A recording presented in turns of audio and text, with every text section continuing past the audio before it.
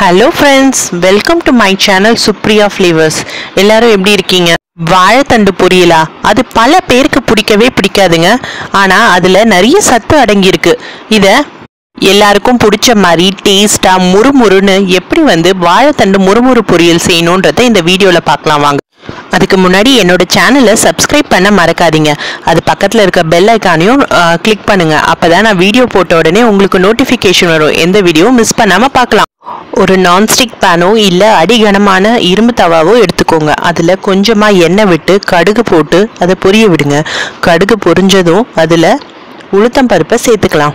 உளுத்தம் பருப்பு நல்லா செவக்கட்டும். உளுத்தம் பருப்பு செவந்ததும் அதில் ஒரு பச்சை மிளகாவை கீறி போட்டிருக்கேங்க. அது கூட ஒரு கொத்து கருவேப்பிலையும் உருவி போட்டிருக்கேன். வாழைத்தண்டு கருக்காமல் இருக்கிறதுக்காக அதை அரிஞ்சு தண்ணியில் போட்டிருக்கேன். ரொம்ப பெருசாகவும் இல்லாமல் சின்னதாகவும் இல்லாமல் மீடியம் சைஸில் க்யூப்ஸாக அரிஞ்சு வச்சுருக்கேன். அதை தண்ணியை பிழிஞ்சிட்டு வெறும் வாழைத்தண்டுகளை மட்டும் நான் வந்து இப்போ வானலில் சேர்த்துக்கிட்டேன்.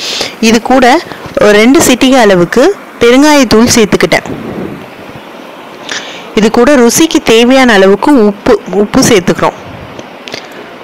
மஞ்சத்தூள் கால் ஸ்பூன் சேர்த்துக்கிட்டு இருக்கேங்க.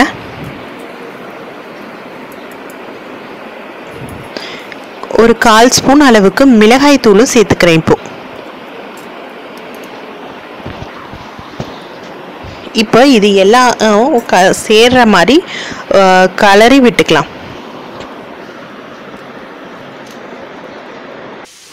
இது கூட கொஞ்சமாக தண்ணி சேர்த்துக்கிட்டு இதை மூடி ஒரு பத்து நிமிஷம் வரைக்கும் இதை வேக வைக்க போகிறேங்க இப்போது வாழைத்தண்டு நார் சத்து அதிகமாக இருக்கிற காய் இது வந்து மலச்சிக்கலுக்கு சர்க்கரை நோயாளிகளுக்கு அப்புறம் சிறுநீர் கோளாறுக்கெல்லாம் ரொம்ப நல்லது. பெண்களுக்கு மாதவிடாய் பிரச்சனைக்கு இது ரொம்பவே உகந்த கா காய்ங்க. ஒரு காஞ்ச பவுலில் நாலுலேருந்து அஞ்சு ஸ்பூன் அளவுக்கு கார்ன்ஃப்ளவர் மாவு எடுத்திருக்கேன். நீங்கள் ரைஸ் ஃப்ளவர் இல்லைனா வந்து பேசன் கடலை மாவு எது வேணால் எடுத்துக்கலாம். அது கூட கொஞ்சமாக கா ஒரு கால் ஸ்பூன் அளவுக்கு மிளகாய்த்தூள் உப்பு சேர்த்து இது நல்லா கலந்து வச்சுருக்கேன்.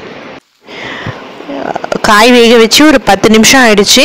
இப்போ இது வெந்துடுச்சான்னு நான் பார்க்க போகிறேன் இது நல்லா வெந்துடுச்சு இப்போ இது கூட நான் மிக்ஸ் பண்ணி வச்சுருக்கிற கலவை கார்ன்ஃப்ளவர் மாவு அப்புறம் வந்து மிளகாய்த்தூள் உப்பு. இந்த கலவையை வந்து காயில் வந்து போட்டுக்க போகிறேன் எல்லா சைடும் ஸ்ப்ரெட் ஆகிற மாதிரி ஈவனாக போட்டு கலந்து விட்டுக்கிறேங்க. இப்போ அடுப்பை சிம் ஆக்கிடுங்க.